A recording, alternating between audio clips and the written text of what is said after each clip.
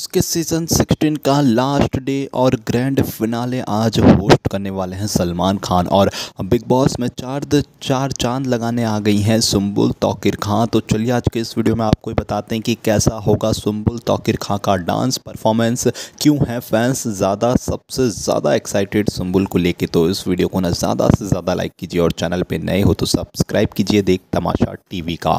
दोस्तों big boss के grand finale में आज बहुत ज़्यादा इमोशनल मूवमेंट तो कई सारे क्रेजी मूवमेंट भी होने वाले हैं। लेकिन भाई बिग बॉस के ग्रैंड फिनाले में सुम्बुल तौकिर खान का डांस ना हो तो ऐसा कैसे हो सकता है? तो इसी को लाजवाब बनाने के लिए बिग बॉस और उनकी पूरी टीम अब तैयारी कर चुकी है। सुम्बुल ने भी रिहर्सल कर लिया है और सुम्बुल का एक लाजवाब डांस परफॉर्मेंस होने वाला है। मैं आपको यहाँ पे बता दूँ सुम्बुल के दो डांस परफॉर्मेंस होंगे। एक होगा जो कि मंडली के पूरे ग्रुप के साथ होने वाला है।